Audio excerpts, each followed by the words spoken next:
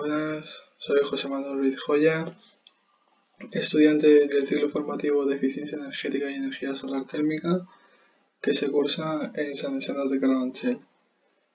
Bueno, hoy voy a hablar sobre esta página web que se llama monsolar.com, la cual pues contiene mucha información sobre placas solares, también tienes información sobre kits solares, kit de, vivienda aislada, kits solares de autoconsumo, paneles solares, reguladores, inversores, baterías.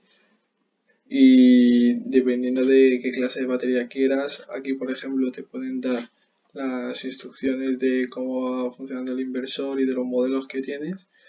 Y dependiendo de si quieres un inversor para aislada o para cargadores solares o eh, inversores que vengan eh, 3 en 1 o inversiones de autoconsumo solar, pues tú te puedes meter y puedes ver el, el inversor que, que mejor te venga. Luego también podemos encontrar aquí pares de placas solares que podemos coger, en este caso de una misma marca, pero eh, de, diferente, de diferente potencia, como este 275 vatios, de 280 o 330 Luego también aquí podemos ver eh, algunas partes de, bombeo solar, como kits eh, solar de depuradora de piscina o controladores de bombeo solar. Energía eólica para complementarlo con un aerogenerador. Aquí vemos los distintos tipos de generador que hay. Aquí te explican cómo funciona la energía eólica y los distintos tipos de aplicaciones que, que se puede tener en la energía eólica. Y en este caso Vamos a hablar sobre la formación que nos pueden dar aquí en la página de Monsolar para ampliar nuestro conocimiento sobre energía solar. Lo primero, hay diferentes cursos de formación, hay uno que es gratuito, luego ya los demás, pues sí que tienes que pagar para, para cursarlos. Van de, más básico a, a más avanzado o nivel experto y son muy aconsejables. Luego también eh, nos felicitan eh, aplicaciones para, para cálculo, herramientas para cálculo. Aquí podemos ver algunas como son la calculadora de consumos, calculadora de reguladores solares, calculadora de secciones de cables y calculadora de separación entre filas de placas solares. Bueno, en la calculadora de consumos podremos ver eh, cinco columnas en la cual está equipos que son pues los diferentes materiales que podemos tener en nuestra casa como bombillas, televisores, lavadoras, frigoríficos, microondas, eh, un horno, las unidades que, en las que tenemos pues, estos equipos, la potencia que van a consumir eh, a la hora, las horas al día que lo utilizamos y el total de vatios por hora que, nos va a dar en las horas que lo estemos utilizando. Yo en mi caso me he preparado mi, propio presupuesto y me ha dado un total de vatios hora día de 3.940. Aquí podemos ver que nos aconsejan unos kits solares. Aquí en mi, en mi, caso me han salido estos para una utilización vacacional de fines de semana del resto del año. De un kit solar de 3.000 vatios de potencia y 40.000 vatios hora día de consumo vacacional me saldría por unos 3.700 euros. Y luego para, para una utilización durante todo el año me han recomendado un kit solar de 3.000 vatios de potencia y de 4.500 vatios hora día de consumo habitual, que me saldría por 5.700 euros. Luego ya, para ver mi, mi, presupuesto, pues ya te tendrías que suscribir en, en la página de, de Monsolar pero la verdad que está bastante bien y aquí, por ejemplo, podemos ver eh, cómo nos explican cómo, funciona la, calculadora de consumos con las unidades, la potencia, las horas al día y el total, los kits solares que nos recomiendan, que en este caso nos cogen el mejor para uso vacacional y el mejor para utilización de todo el año. Y luego esto ya es para eh, solicitar el presupuesto. En la calculadora de reguladores solares podemos ver que tenemos distintos apartados a la hora de seleccionar el tipo de regulador, el tipo de panel, la tensión de la batería y aquí van a salir los datos que, vamos a necesitar. Aquí también podemos seleccionar el, tipo de regulador que queremos. Aquí podemos ver la, marca, que puede ser PWM o MPPT o, distintos inversores también de las mismas marcas anteriores. Yo en mi caso voy a escoger este regulador solar MPPT Luego aquí tenemos eh, los diferentes tipos de paneles solares de las marcas SCL y Jinko de distinta potencia y distinto voltaje. Yo aquí también voy a escoger este panel solar SCL de 200 vatios y, de 12 voltios. Y en la batería pues voy a coger una batería de, de 12 voltios. A continuación cogeremos los números de paneles en serie que queremos, que yo voy a solicitar tres paneles y los paneles en paralelo que también vamos a querer, que yo en este caso voy a poner dos. Aquí podemos ver un esquema de cómo quedaría nuestra instalación y aquí ya podemos apreciar los datos pues del panel solar que tendría pues la, que nos sale la potencia del panel de 200 vatios, los distintos voltajes, también nos salen los datos de salida por string, los datos de salida del generador fotovoltaico y la corriente de carga de la batería. En estos links de aquí, eh, si nuestro panel no coincide con los datos que vienen aquí, pues nosotros podemos modificarlos para que nos salga un presupuesto y nos recomienden una batería que vamos a ver aquí y un regulador acorde a los datos que nosotros tenemos. Bueno, aquí ya nos sale el regulador solar mínimo que vamos a necesitar. En este caso, el regulador sería de 100 amperios y de un voltaje de 81,14 voltios. Y si nos metemos aquí en el enlace, nos lleva al regulador. En este caso, su regulador Smart Solar Victron MPPT. Bueno, y aquí ya pues nos dicen si queremos complementarlo con algo más o cualquier otra cosa. Luego, la batería mínima necesaria que vamos a necesitar para nuestra instalación va a tener un voltaje de 12 voltios y aquí va a tener la, capacidad que vamos a necesitar.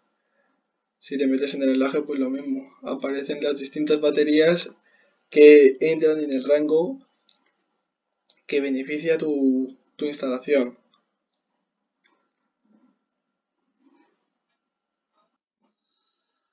Luego tenemos la calculadora de secciones de cables eléctricos en la que podemos ver dos esquemas, que será un esquema de instalación con regulador más inversor, como bien podemos ver aquí, en la que nos vienen pues los paneles, la caja de conexiones, el regulador, el inversor y las baterías y las distancias que hay entre cada uno.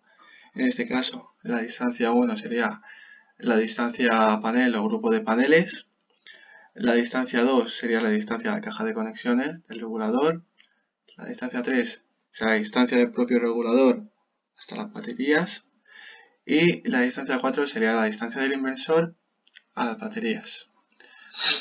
Luego en el esquema número 2 eh, es una instalación con inversor 3 eh, en 1.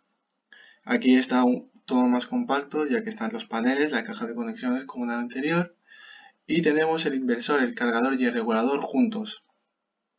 Por tanto ya no queda eh, sobra una distancia, entonces tenemos la distancia número 1 que sería la distancia del panel o grupo de paneles a la caja de conexiones, la distancia número 2 que sería eh, la distancia de la caja de conexiones hasta el propio regulador, eh, cargador e inversor, y luego la distancia número 3 que sería la distancia del propio inversor cargador regulador a eh, las baterías. Bueno, en este caso yo he cogido unas longitudes cualquiera, por ejemplo, en este caso he cogido que la distancia número 1 sea de un metro, la distancia 2 de 5, la distancia 3 de 3 y la distancia 4 de 2. He puesto la misma corriente para todos, una tensión que varía y luego un coeficiente de pérdidas que también puedes variar dependiendo en tu caso de si la, instalación tiene unos parámetros determinados. Luego, eh, aquí te viene ya la, sección convencional en metros cuadrados, en milímetros cuadrados que tú vas a necesitar para, para tu instalación dependiendo de la longitud que tú hayas solicitado o que quieras tener. Y la caída del voltaje real en tanto por cierto, en tanto por ciento. Que aquí podemos ver que en este caso en la distancia número 1 sería de 0,28, la distancia número 2 0,34, en la distancia número 3 0,28 también, y en la distancia número 4 de 0,13. Y, la caída en total en, eh, la caída total en, porcentaje sería del 1,048%. Aquí podemos ver cómo, bueno, podemos ver la imagen de un cable, de un cable solar que nos, que nos recomienda y la línea, o sea, podemos ver aquí los, los términos que, que empleamos en, en, estos esquemas, la línea, la longitud, la corriente que, vamos a, la corriente que vamos a necesitar, la tensión, el coeficiente de pérdidas, la sección comercial. Aquí abajo también nos viene una tabla de equivalencia de secciones con el sistema americano, que es esta de aquí. Pero bueno, esta calculadora es muy fácil de usar también y, muy buena. Sirve para, sirve para, poder visualizar tu, tu, instalación. Y luego ya por último tenemos la calculadora de separación entre paneles solares que vamos a necesitar para, para evitar las sombras. Aquí, como en el anterior, podemos ver un esquema de inclinación de tejado. Esta será la, inclinación, una, la inclinación B en este caso y esta la inclinación A. eh, en este caso se ve que es más favorable la inclinación A. Y luego tenemos un esquema de separación en filas de paneles. Esto quiere decir en llano.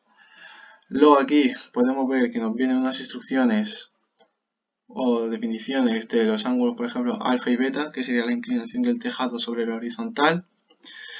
Aquí pone poner siempre con un ángulo positivo, ejemplo 20 grados. O sea, siempre, aquí en este caso hay que ponerlo con, un ángulo positivo. Luego el ángulo de panel sobre el horizontal, que sería gamma en este caso, que lo podemos ver aquí, el ángulo de panel sobre el horizontal. Que eh, como aquí podemos ver, es el ángulo que se forma con la horizontal, no con el tejado, sino que se tiene que trazar la horizontal y formar el ángulo con ella. Luego aquí en llano podemos ver las distancias, que será la distancia mínima, eh, la primera distancia que sería la distancia desde el final del primer panel hasta el principio del segundo panel, y luego la, la segunda distancia que sería la distancia del principio del primer panel hasta el principio del segundo panel. Y luego ya pues nos viene la distancia 1 recomendada y la distancia 2 recomendada, que será la distancia 1 pues más un 25% de, de espacio. En mi caso, ¿qué he hecho? Pues también me he puesto, he puesto, hecho este ejemplo. Podemos ver aquí lo primero, eh, distintas columnas, como el tipo de tejado, el ángulo de inclinación del tejado, con los ángulos en positivo, que nos, nos, lo recuerdan, ya que venía aquí también con el ángulo positivo, la latitud del lugar, la longitud del panel en metros, el ángulo del panel sobre, sobre la horizontal, y a partir de aquí nos viene la distancia, que eso no lo dicen ya, la distancia, la primera distancia mínima, la distancia 1 recomendada, la segunda distancia mínima y la segunda distancia recomendada, que sería sumándole pues el, ese 25%. En la inclinación A y en la inclinación B he puesto que el tejado pues tiene el mismo ángulo para que sea simétrico de 20 grados. Luego la latitud del lugar ya he ido cambiando un poco y he puesto en la inclinación A. Bueno, he puesto que la inclinación A sea de 40,4 grados y la, inclinación B sea de 41,3 y la longitud del panel en metro he puesto que sea para igual eh, de 1,5 metros. Y luego el ángulo del panel sobre el horizontal que sea de 45 grados, este de aquí. Este ángulo va a ser 45 grados. Y pues nos salen las distancias que tendríamos que dejar entre cada uno en metros en este caso pues nos viene la distancia que tendríamos que dejar en la horizontal entre cada panel de 1,8 m, 2,3 eh, de las distintas distancias que serían estas que hemos dicho antes. Y luego también nos vienen las distancias que van variando con respecto a esta inclinación y que también varían sobre esta inclinación también.